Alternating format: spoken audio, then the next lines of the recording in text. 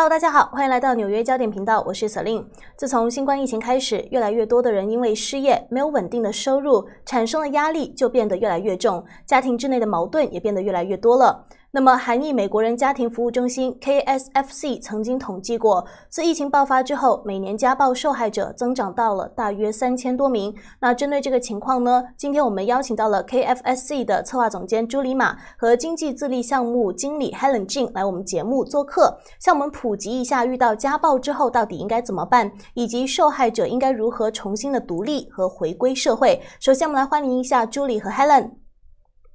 嗯，Hello。也请两位就是介绍一下自己。好的，观众朋友们，大家好，很荣幸来到贵节目，我是 KFC 的策略总监朱丽玛。嗯哼，Helen。Hello，观众朋友们，大家好，我是 KFC 的经济自立项目经理，嗯，主要负责嗯帮助顾客们找工作机会，教他们英文和其他各种技术。很荣幸今天可以到焦点频道啊上。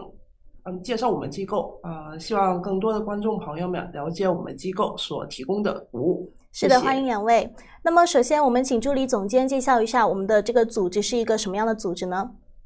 好的，KFC 呢是一家非牟利机构，该机构的宗旨是有效的去协助纽约地区的女性、儿童和家庭去消除家庭暴力和虐待。我们的咨询、教育、宣传和支持服务，帮助受益者培养他们可以经济独立和在相互尊重的基础上建立安全和健康的关系。那每年呢有超过三千人受益于我们提供的服务的。那我们提供的所有服务都会衡量和考虑受益者的文化背景和语言。那 KFC 呢已经在我们的社区提供服务三十四年了。我们的服务是有效的去针对。受害者在美国的文化差异，而这些差异呢，是受害者在寻求帮助时的一些障碍。那 KFC 是第一个专注于为纽约地区的亚裔社区服务的防止家暴组织，并且是美国东岸唯一一家一周七天、每天二十四小时提供双语热线的机构。百分之九十的家暴和性侵客户呢，都是亚洲的移民，百分之九十五是女性，百分之九十八的英语水平是有限的。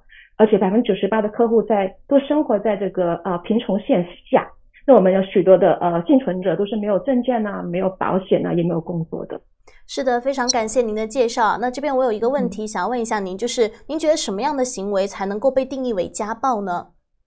就是家庭暴力呢是有包括很多种，有身体的虐待，有情感的虐待，性虐待，还有经济虐待。那身体虐待呢是指任何使用武力的行为，譬如是殴打呀。踢打、捏打、扇耳光、强迫你喝酒或者吸毒，还有其他的身体暴力行为。那另外呢，还有情感虐待，包括有言语的攻击，嗯，像是说用侮辱性的词语、辱骂等等；心理和情感虐待，恐吓、讽刺等等。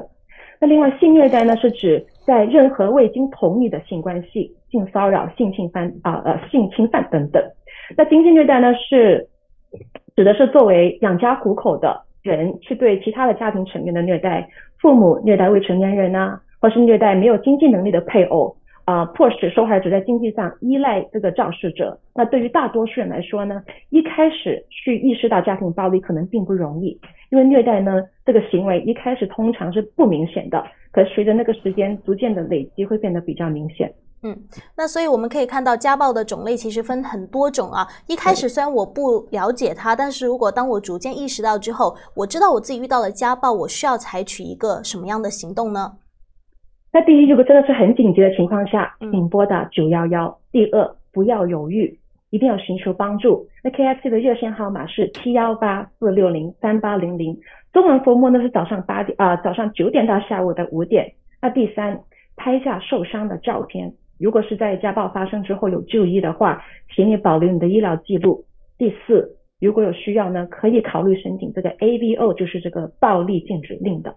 是的，感谢朱莉。那待会我们的这个屏幕的联系方式已经打在上面了，大家可以去，就是如果有需要的话，一定要去联系他们哈。那我听说哈，有些被害者遇到家暴，但是是不愿意求助的，是为什么呢？啊，请问一下 Helen 经理，是因为什么样的原因？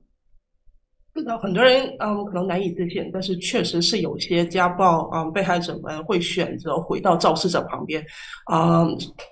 最大的原因可能就是怕后果啊，尤其是女性，很多女性在经济上完全没有独立啊，所以她们就离不开自己的丈夫啊，即便经历了家暴，她们也会选择嗯继续依赖肇事者。有些嗯被害者会轻易的原谅家施那个暴家暴的家庭成员，也会有一部分人已经到了习得性无助阶段。意思就是说，嗯，他们会放弃求助啊。习得性无助，嗯，是指一个人经历了嗯挫折和失败后，面对问题时产生的无能为力的一个心理状态和行为。所以，我们机构会，嗯，我我们机构过去三十多年帮助了很多家庭暴力被害者。啊，大部分被害者到最后还是会后悔当初，因为嗯怕没有就是怕没有经济来源隐瞒真真相，然后委屈了自己很长一段时间。嗯，很多心理学家，然后社会学家都都有提到，一旦有人经历了家暴，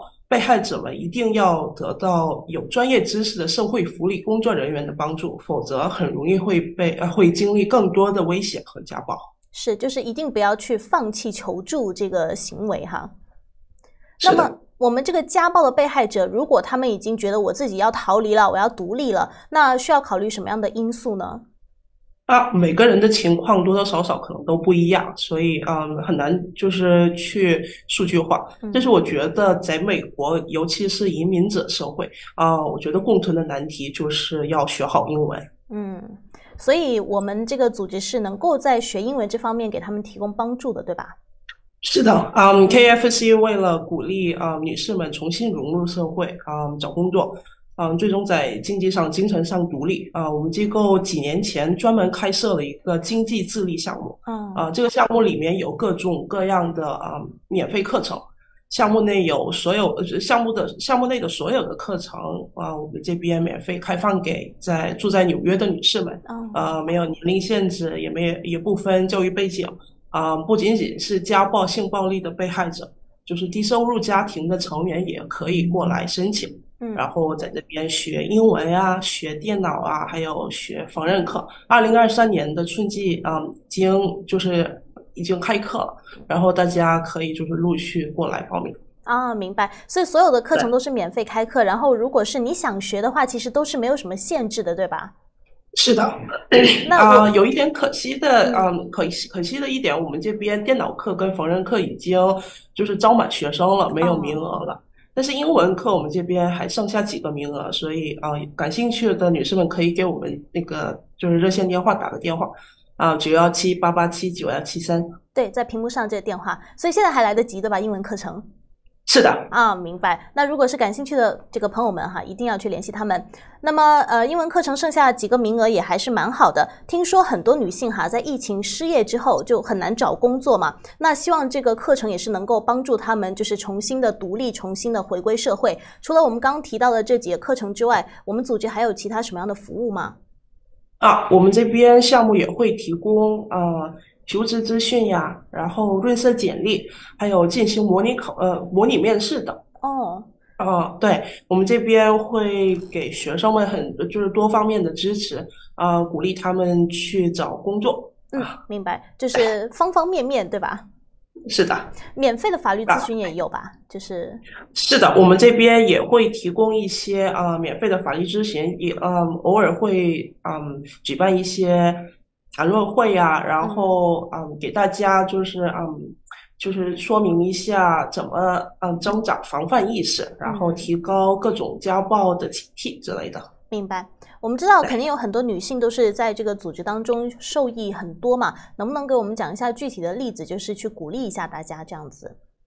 嗯，我们这边啊，过去三十年，嗯，每年都有上千家暴，就是家暴那个被害者们向我们机构求助，然后他们也得到了帮助，大部分的人找到了适合自己的工作，然后最后在经济上、精神上完全独立了。呃，自从今年年初开始算，就光我们经济独立项目里边的学生，嗯，就有十多个人已经找到了嗯兼职或者全职岗位，然后他们现在也特别喜欢自己的工作。啊，我这边有嗯有 A 女士啊，我我这边不太方便透露她的信息，所以我就叫称为她 A 女士。嗯，她去年上完我们项目的缝纫课，然后她上完课一开始是在一家裁缝店工作了几个月，然后后来她这边不断的投简历，然后准备面试，啊，不断的修改自己的 portfolio，然后最后当上了宠物服装设计师。哦，好棒！对对。然后这边也有另外一位嗯 C 女士，嗯她九岁的时候就是出车祸了，然后右就是右腿截肢，然后她一一直都在戴那个假肢，然后后来她就跟她的一个同学就是成家了，然后也生了两个儿子，然后十年前移民到了美国，在纽约啊、嗯、定居下来了。他们家其实是有了一定就是稳稳定的收入，然后儿子们也长大成人了，以为嗯他们家就没有越来不会是越好了，对吧？对，不会发生什么样的 任何事情。没想到疫情期间，嗯，西女士的丈夫，嗯，可能压力比较大，然后就开始打了那个西女士，然后到最后她的假肢都被打断了，然后她的两个儿子就实在忍不住了，然后就直接把她的就是辛女士的丈夫给那个就是报到那那就是告到警察局了。哦，然后辛女士这边就向我们机构就是打电话过来求助，然后后来她就是他来我们那个经济智力项目的英文课上课，嗯然后他现在是找到了一份兼职，然后他这边是主动给我们打电话报的喜讯。嗯，太好，所以我们的这个项目真的是帮助了很多人。那我知道最后啊，其实这个 KFSC 最近还有一个筹款晚会，对吗？可以请助理给我们介绍一下。是的，那嗯，KFC 的三十四周年的筹款晚会会在星期五的四月二十八号举行。我们的筹款金额呢是七十五万，筹得的这个款项都会帮助我们受害者在工作上的培训啊，受影响儿童家庭所提供的课后活动，或是给受害者提供的一些临时住宿等等。那详情呢，请浏览 www.kfcgala 二零二三 org，希望呃你们都可以帮我提供一下这个资料。因为刚才跟 Hel Helen 也说了很多不不一样的我们的服务，其实当中的困难还是有的，只是希望大家都了解这个家暴有很大的一个不同的 spectrum，有有很轻微的，有很严重的。大部分的那个受害者，they don't want to end the relationship，they just want to end the violence，right？他们不一定说求救之后就是跟家庭就没有关系，不是那样子。在不懂的情况下，请求助，跟我们联络，谢谢。是的，感谢朱莉，也感谢 Helen。那么刚刚我们上面提到的一些官网的资讯啊，包括筹款的信息，我们待会都会打在这个节目链接下面的这个内容说明区域哈。大家就是如果是有心的，不管是寻求帮助的，或者是希望帮助这些女性和这个组织的，都可以就是联系我们。好的，我们今天就是非常感谢两位哈，再次提醒大家，如果有需要帮助的朋友们，一定记得不要犹豫，记得联系他们。屏幕方式呢，我们刚刚全都打在了屏幕上面哈，同时内容说明区也会有。我们希望今天这期节目是真正的能够帮助到大家的。好，感谢两位。以上就是我们今天节目的全部内容了，我们下期节目再见，谢谢，拜拜。拜拜。